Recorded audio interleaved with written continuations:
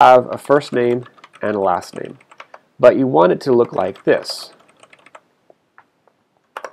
Now normally you would, you would pay some intern $10 an hour to go through and combine these two fields together by manually typing everything out. Instead what we're going to do is we're going to use a feature in Excel that has the ampersand. So I'm going to push equal to start a formula, choose Nathan in cell A2, push ampersand, and then select Garrett in B2. Once I do that, you see it takes my two cells and combines them into one. So if I change this information from Garrett to Smith, it goes ahead and updates this automatically as well. Now you see there is one problem here. It, it smushes all the data together. So it has Nathan and then no space and then Smith. We could fix this by adding a space before Smith, but that's not really ideal because we don't want to have to manipulate our original data. Instead, what we're going to do is we're going to tell Excel how to put text in here. Now normally when you type words in, like say you do average, Excel thinks you're doing a formula. However, what we want to do is just be able to type in a bit of text and have Excel not try to interpret that as a formula. So what we do is we put quotes around it. If I write the word average around quotes, Excel knows I'm not trying to do a function. Instead, I'm actually just want the word average there. So what we can do here is we're now we'll choose Smith, ampersand, and I'm going to put a quote a comma, a space, and another quote. what it's going to do is it's going to take this Smith, put a comma after Smith, a space, and then I'm going to have A2 for my first name. And now you see that I have a nicely formatted column here. And as I add more information, all I got to do is copy that formula from C2 down to C3, and now it works. If I decide I want my name the other way around, I just do equals A2 and inside of quotes a space and B2. And now I have, real quick fashion, my name's put the opposite direction. Now you can use this feature in a lot of different ways, but one example is you can use it to create sort of a primitive little mail merge. Let me show you an example. Let's say I've got a bunch of information and I want to send out individual emails to the, each person with their score. I'm going to write inside of quotes hello and a space. Then I'm going to write A2. When I push enter, you'll see it says now says hello Nate. Let's put a little bit more in here. Another ampersand in quotes.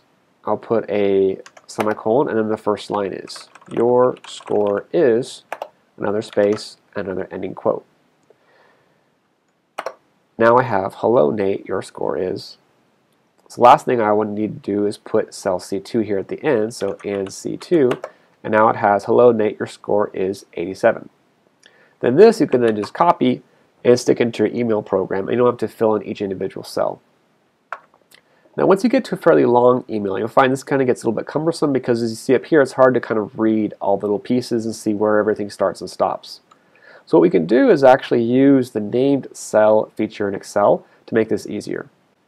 So I have, how are you doing this nice Monday? Your score is, this is your last chance to resubmit, and thanks Dr. Garrett.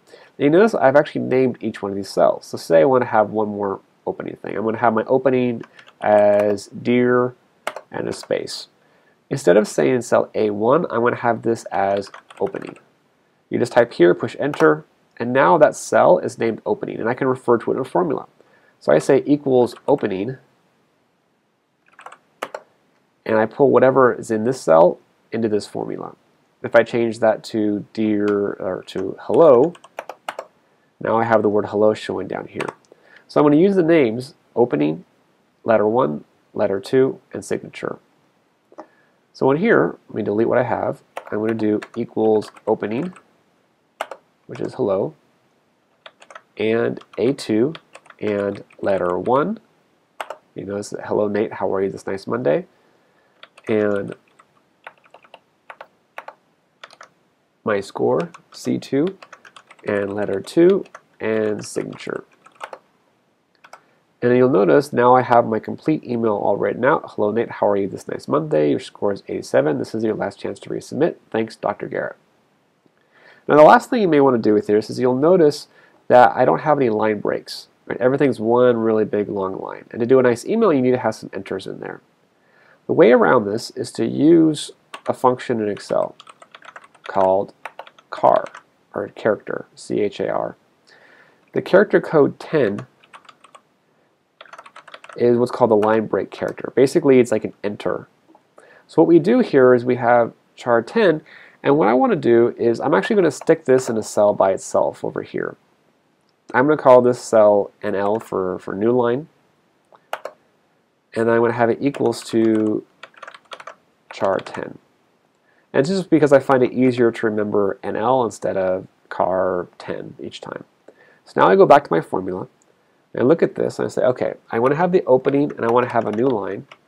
Then I want to have, I'm sorry, actually I want to do A2 and new line, and letter 1 and C2 and new line, and letter 2 and new line and signature. All right, so I know it looks a little bit tight in here, but you see I've got the name of the cell, a reference, my enter, the name of the cell, a reference, another new line, the last little bit of my letter, a new line, and finally my signature at the end. Now, it doesn't look that much different here, but when I copy and paste it into my mail program, I'll see a difference. Okay, so I pulled up my compose new message. I go in here and I paste now the thing that I just wrote. And now you see I have all the new line characters that are nicely making a new character pop over. Let's say I want to have an empty line between each one. All I have to do is I go back to my original NL cell. Instead of one character 10, I'll have two character 10s. Here, now even though you can't see it, there's an extra symbol in there now.